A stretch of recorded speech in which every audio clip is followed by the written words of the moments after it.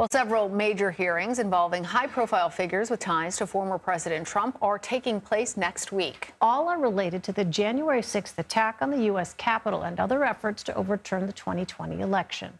Hearings for a case involving former Trump White House advisor Peter Navarro are scheduled for Monday and Wednesday. He faces criminal charges for refusing to cooperate with the January 6th Select Committee.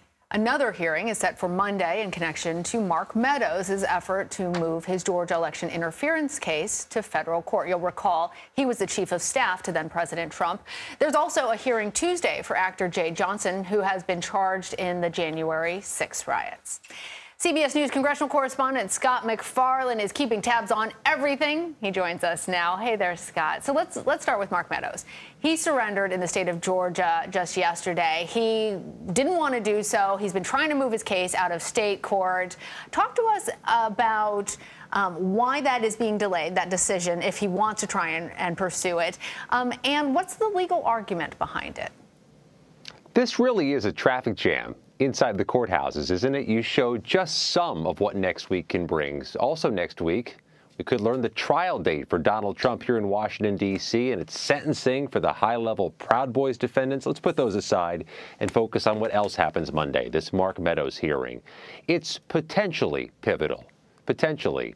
He's arguing that his case should be moved out of Fulton County, where he was processed, booked, and photoed last week or earlier this week, and wants it moved to U.S. District Court in Atlanta, the federal court system, which offers a couple different um, nuances. In federal court, the jury pool is quite different. It's not just Fulton County jurors, but it would be people from throughout the Northern District of Georgia small towns, big cities, people from throughout the area. And also in federal court, you remove the cameras. There'd be no cameras in the courthouse, no televised trial. Things are quite different. The argument he's making is that these crimes for which he's been accused occurred when he was serving as a federal officer, a U.S. President's Chief of Staff, and that this is a federal jurisdiction thing. The prosecutor has responded, we're talking about crimes that you have alleged to commit when you were serving as a campaign surrogate of Donald Trump. You can't be a federal employee, a federal officer, and campaign. That's against the law. You were a citizen when you were helping the campaign, so the argument might be moot. We'll find out what the judge says after the hearing Monday, 10 a.m. Eastern Time in Atlanta. Well, Scott, let me ask you about Peter Navarro. Why does he have not one, but two hearings scheduled for next week? What exactly is being addressed? because he's about to go on trial for contempt of Congress, federal crime for which he was charged almost two years ago. You'll recall he defied that House January 6 Select Committee and its order for a deposition, said he couldn't do it, that Donald Trump, the former president at the time, the president, had ordered him not to. Or actually, he was at that point an ex president, but a recent ex president.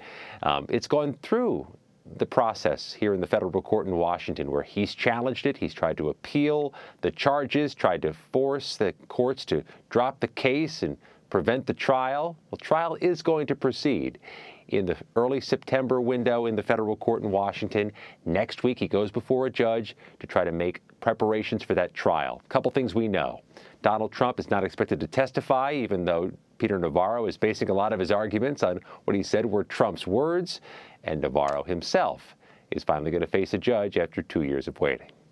Scott, uh, let's talk about the actor who was charged for his involvement in January 6. Jay Johnston. He appeared in things like Bob's Burgers as Jimmy Pesto's voice. He's lost those those roles that he had. I understand he's called the whole incident a mess. Where does his case currently stand? He was supposed to face a judge the same day Donald Trump was arraigned in Washington earlier this month. They postponed it to next week. He is a rank and file January 6 defendant. No high level charges, but shows you the range of defendants, a Hollywood actor among them. All right. Scott MacFarlane, thanks.